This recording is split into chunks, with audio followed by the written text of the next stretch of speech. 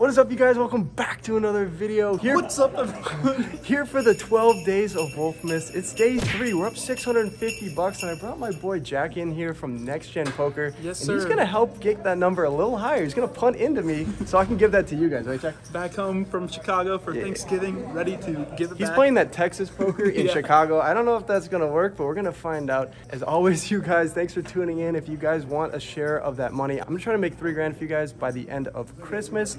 Make sure you hit the subscribe button and like the button, and go check out Jack too. Go check it out. Let's go.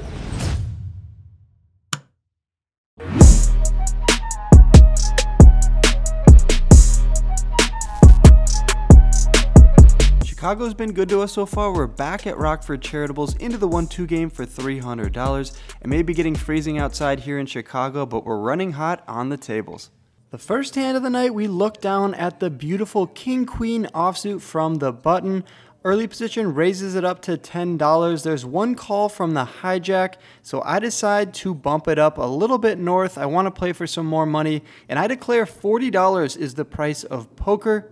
To which early position and the hijack both find a call. Yes, we are three ways in position to a flop. Around 120 in the middle, and the flop comes ace king four with two clubs. When the action checks to me, I think this is a pretty good board to go for a c bet on. I'm to have all the ace king, ace queen, and also pocket aces and pocket kings. So I decided to bet out for a fourth of the pot for $40. Under the gun plus two raises me now. He goes for the check raise to 125. I don't appreciate that one bit. The hijack gets out of the way and the action's back over to me. And even though I don't appreciate his raise, I'm not going to punish him here. It's likely he just has an ace and is trying to protect his hand against a wide variety of hands, such as mine, like King Queen, that has some equity. He's trying to thin out the field. He gets the job done. I fold my hands, and uh, he's going to take down that $300 pot. After topping up $100, we look down at the bullets from the hijack. Under the gun opens it up to $15, and of course, I 3 bet him to $45, to which he says, Yes, we're going to see a flop. He puts in the call, and that leads us to a flop heads up in position, which comes queen high.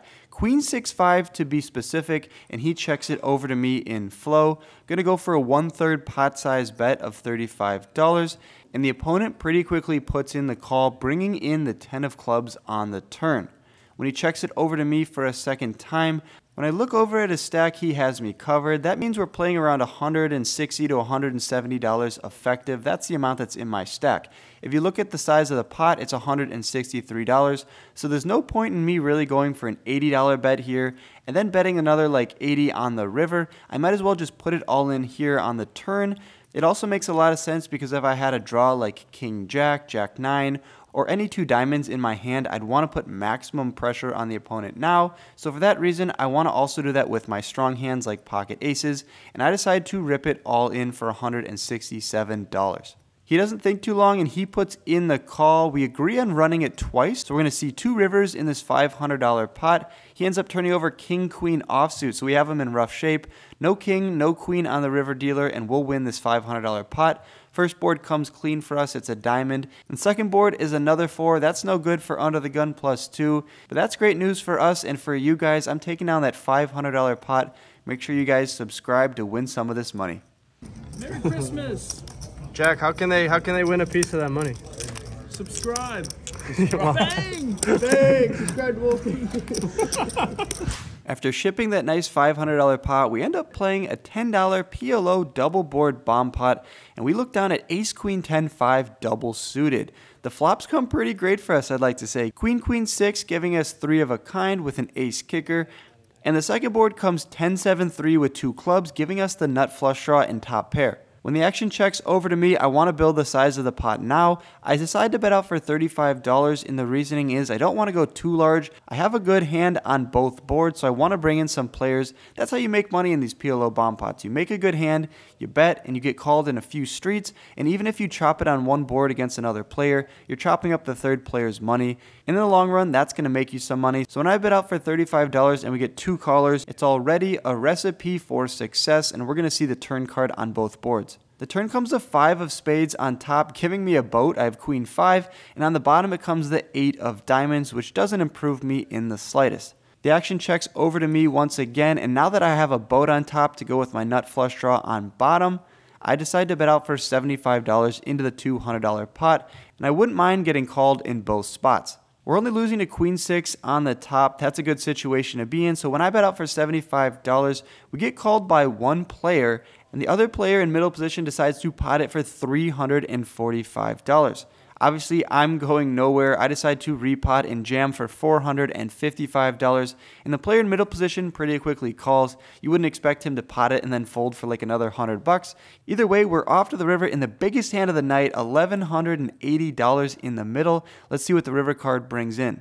Top board comes the four of hearts, and the bottom board does not come a club. We would have scooped against ace jack 9 6 with diamonds. He turned the straight on the bottom, and on the top, he had the nut flush draw, which is pretty great for him. Either way, though, we are chopping down that $1,180 pot, and we're going to make some profit in that hand.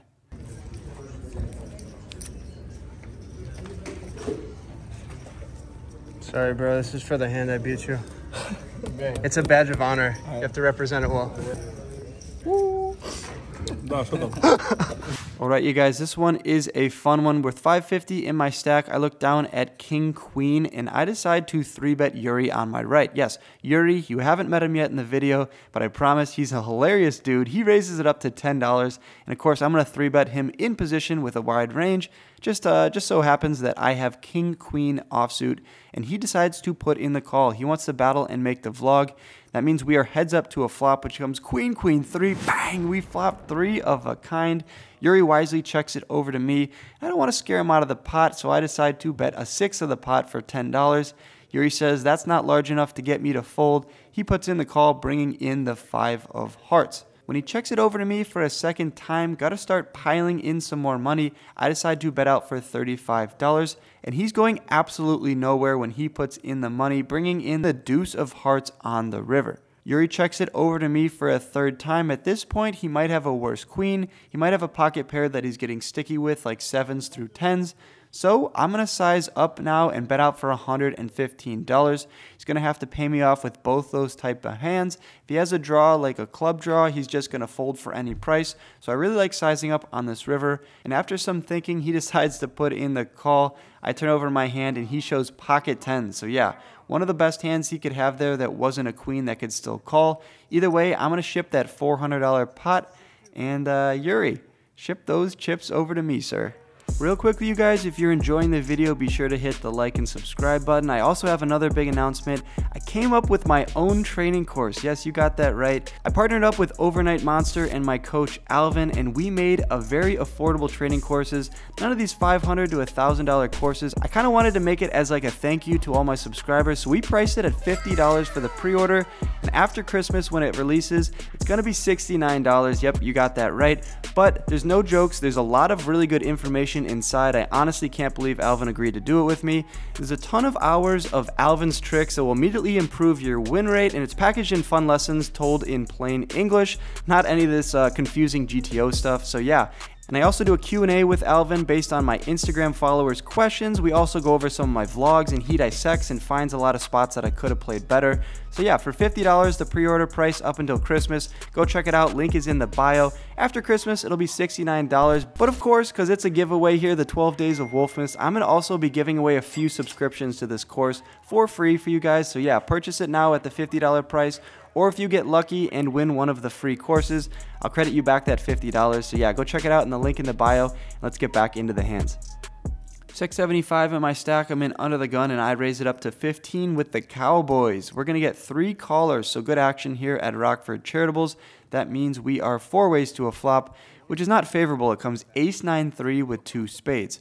The action checks over to the cutoff and he bets out for $25 into the $50 pot. And of course, both of us put in the call. I can't be check folding pocket kings just to one overcard. So I'm going to call here and see what the turn card brings in. The turn comes the five of diamonds, really shouldn't change too much. He probably has an ace at this point when we check it over to the cutoff and he bets out for a $100, pretty much letting the table know he has some random sort of ace. Or if he's bluffing, it has to be the spade flush draw. I could call here for another $100, it's unlikely he's going to slow down on the river if the spades break off and put us in a really tough spot to basically call him down with second pair. For that reason, and also because I want to make you guys the most amount of money, I decide to fold for a hundred bucks. And unfortunately, he doesn't show, so I guess we'll never know what he had. Three more hands to go, and they're very interesting. I look down at King Queen suited from the button. Yuri in the cutoff raises it up to $10, and I decide to 3 bet him to 35. We're going to get three callers, one of which is Yuri on my right. That means we are four ways to a flop. Four ways to the flop with 140 in it, and it comes all clubs. 8-4 deuce, bang, we flop the flush. How does that happen? Yuri raises, I 3-bet, we get three callers, and I just flop essentially the nuts unless someone else has like ace-5 of clubs. Very, very unlikely though. So when the action checks to me, I want to put some money in and target pocket fours, pocket deuces, three, five, six, seven, eight, seven. A lot of those hands that can call me here for a small bet. So I bet out for $50, but uh, there's three players in the hand. Only one of them puts in the call, the small blind. So yeah, not exactly sure what he has, but it could be any sort of hands that I just mentioned. When he puts in the call and the pot balloons up to $240 and the ace of hearts peels off on the turn, it's actually a pretty great card. For instance, a hand he could have that I didn't mention is a hand like ace 10 with the ace of clubs, ace jack with the ace of clubs. So you get the point. So now this ace of hearts on the turn improves him a lot of the time to top pair.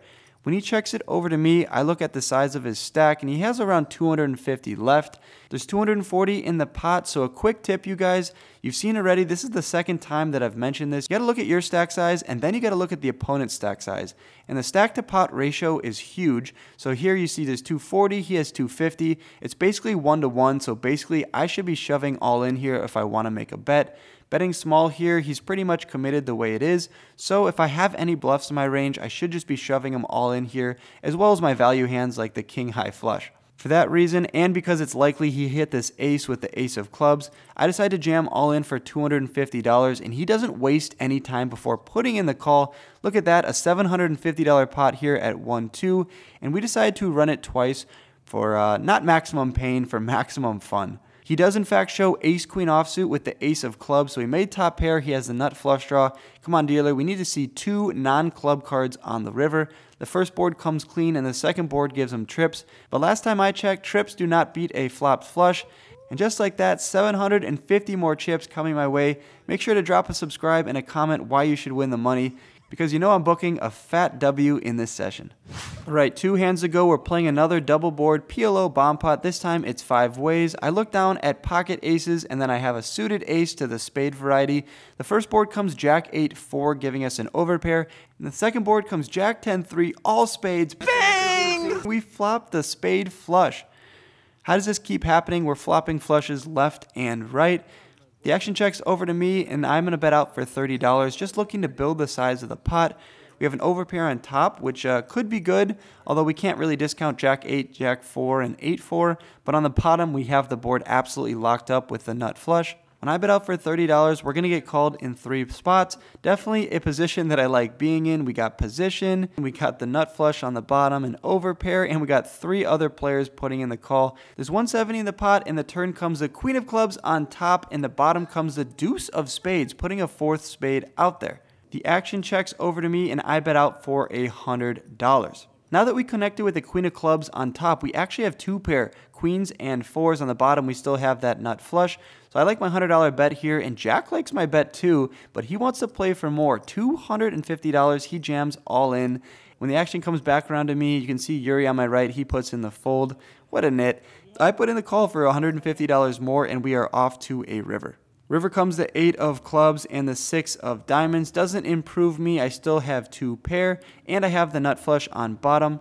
Jack turns over Jack 10, 9, 9, so he did in fact have two pair on the board that I had the flush. I'm going to win that one, but he does have a straight on the top board. And we're going to chop up that $670 pot, which feels pretty good, honestly, and that moves us into the last hand of the night. We're going to battle with Jack once again. I'm on the button with Ace 10 offsuit, and I'd raise it up to $20.